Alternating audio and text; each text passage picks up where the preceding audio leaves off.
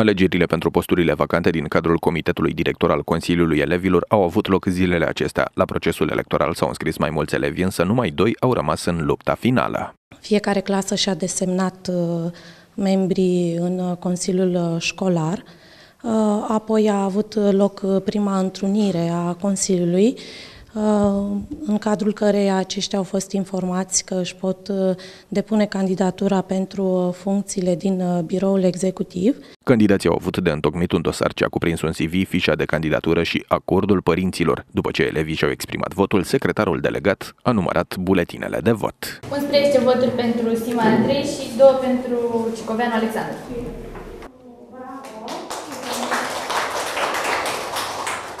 Astfel, Sima Andrei ocupă funcția de președinte al biroului executiv al elevilor, iar Alexandra Cicoveanu a fost desemnată vicepreședinte. Iată ce și-au propus să realizeze în acest mandat. Ca orice reprezentant al școlii, vreau să o dezvolt cât social, cât și prin rezultatele bune. Cum vrei să faci asta? Pentru că așa e ușor de spus. Dar cum? Ce îți propui tu mai exact? Văd eu mai târziu. Păi... Ce crezi că presupune uh, această, să zicem, fel de meserie, da? da. Ești tu președinte. Ce presupune?